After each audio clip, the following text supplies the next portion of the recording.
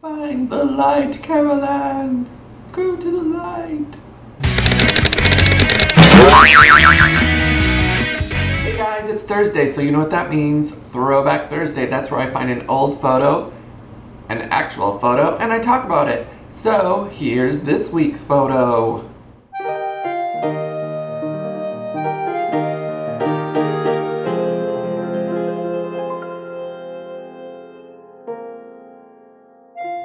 This photo or picture comes to us from, I don't know how many years ago, a long time ago.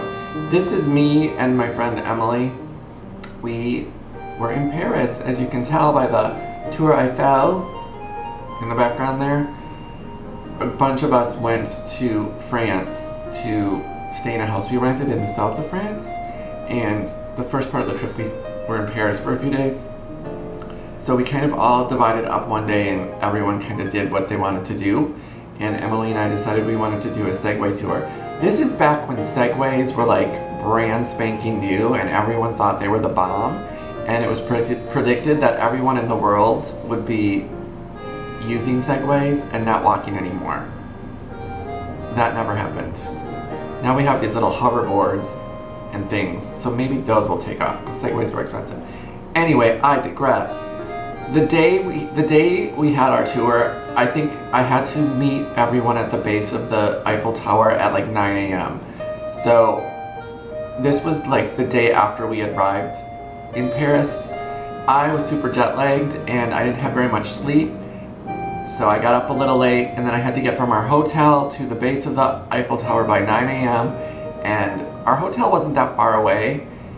So I was just gonna walk there and the thing about Paris is you can kind of see the Eiffel Tower from almost every area of the city you're in, except when you get really close to it, because then the buildings around you hide hide it and you can't find it.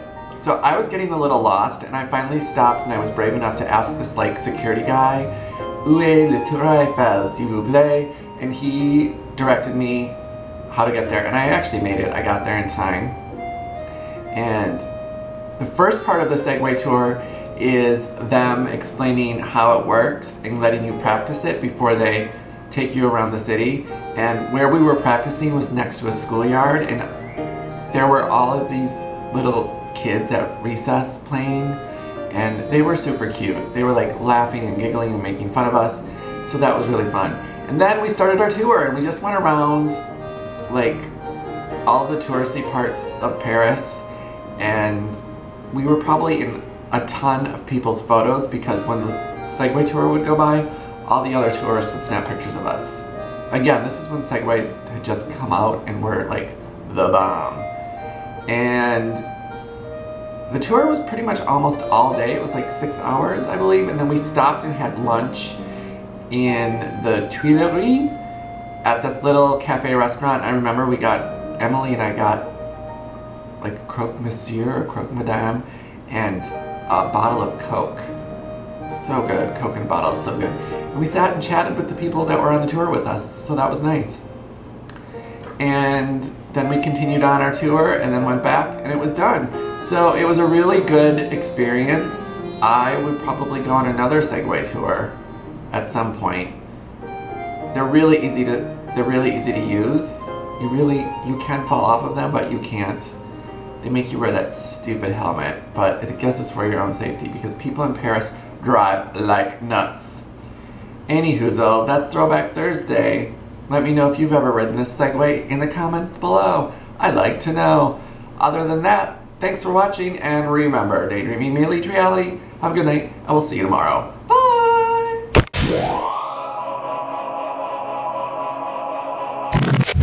To the Eiffel Tower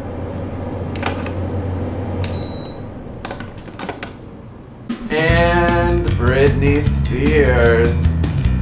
Oops, she did it again. What? Like, really? You're, you're older now, you're a mother, and no one wants to see your belly button and those boots.